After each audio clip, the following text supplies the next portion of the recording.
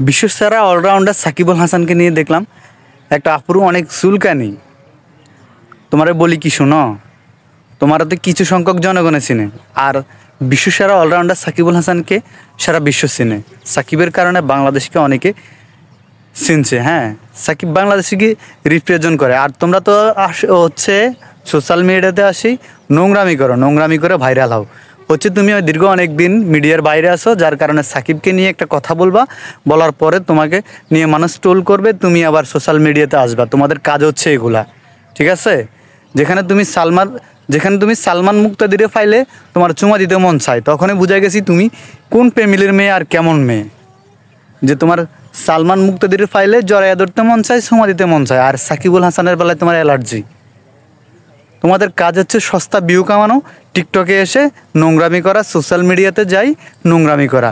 আর সাকিব তো তোমার মতো না, যে দেহ দেখায় অথবা শরীর দেখিয়ে ইনকাম করে যাচ্ছে। সাকিবের জায়গায় সাকিব। একটা কথা বলি, শুনো, যদি সঠিক সময় সাকিব বিয়ে করতো, তোমার মতো এরকম দুই একটা মেয়ে থাকতো। আর তুমি সাকিবরে নিয়ে নোংরামি করো। ভালো হয়ে যায় এখনও।